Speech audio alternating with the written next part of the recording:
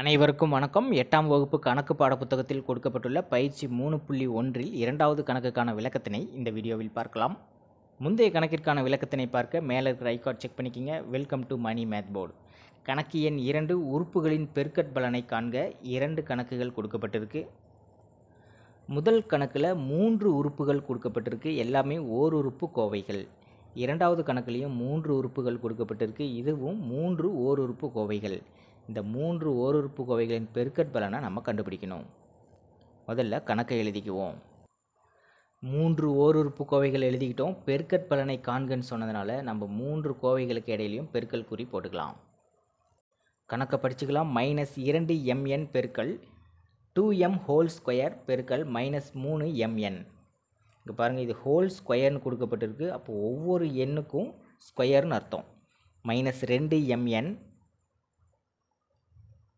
பெருக்கல் ரெண்டு square M ஸ்கொயர்னு அர்த்தம். அதுதான் ஹோல் ஸ்கொயருடைய மீனிங் இரண்டு ஸ்கொயர் அப்படின்னா நாலு எம் ஸ்கொயரை நம்ம அப்படியே வச்சுக்கலாம். M square. பெருக்கல் மைனஸ் மூணு எம்என் இப்போ நாம் பெருக்கலாம். எல்லாமே ஓர் உறுப்பு கோவைகள் தான். நேரடியாக பெருக்கிடலாம். மைனஸ் இரண்டு நாலு மைனஸ் மூணு. முதல்ல மாறிலிகளை பெருக்கிக்கணும்.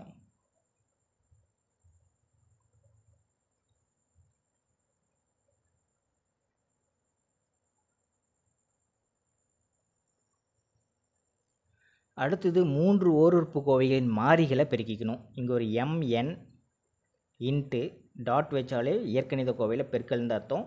எம் ஸ்கொயர் பெருக்கல் எம்என் முதல்ல மூன்று மாறிலிகளை பெருக்கிக்கலாம். மைனஸ் இன்ட்டு மைனஸ் ப்ளஸில் தான் கிடைக்கும்.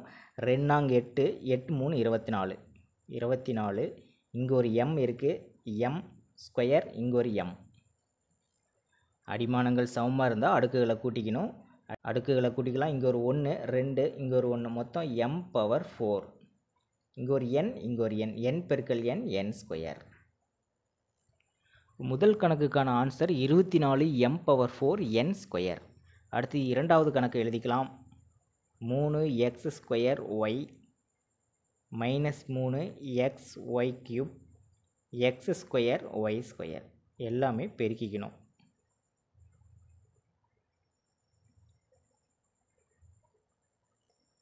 இது எல்லாமே ஓருறுப்பு கோவைகள் தான். ஸோ முதல்ல மாறிலிகளை பெருக்கிக்கணும். அதுக்கு அடுத்ததாக தான் மாறிகளை பெருக்கிக்கணும். முதல் கோவையில் மாறிலி மூன்று பெருக்கல். இரண்டாவது கோவையில் மாறிலி மைனஸ் மூணு பெருக்கல். மூன்றாவது கோவையில் மாறிலி ஒன்று. அடுத்தது மாறிகளை பெருக்கணும். X square y into x y cube into x square y square மூணு பெருக்கல் மூணு ஒன்பது ஓரொம்பது ஒன்பது. இங்கே மைனஸ் இருக்குது ஸோ மைனஸ் ஒன்பது.